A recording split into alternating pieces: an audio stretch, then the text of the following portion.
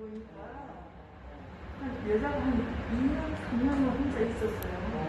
그러다가 지금 남자를 만났는데 말도 못하시니 그렇지, 그렇지. 소비하기 못, 나는 그 전에 장사할 때 이거, 이거 일을 하기 전부터 알고, 그 옆에 살아서 알거든. 자기한테 옆에서 살았거든. 그래서 아는데.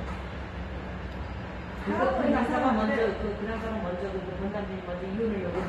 그렇지. 그러니까 그 여, 남자는 할 말이 없다. 할 말이 없지. 어, 어, 그러고도 여자가 이남자 하고 지금 사는 사람 말고 얼마나 매달렸어요. 어. 남자예요. 어, 애들이 있으니까. 그렇지, 그렇지. 좋아서 매달렸고. 애들이 있으니까 그랬는데 끝까지 아니, 그거 힘들지. 그러다가 여자가 이제 그걸 사는데 지금 남자가 마음이 없어.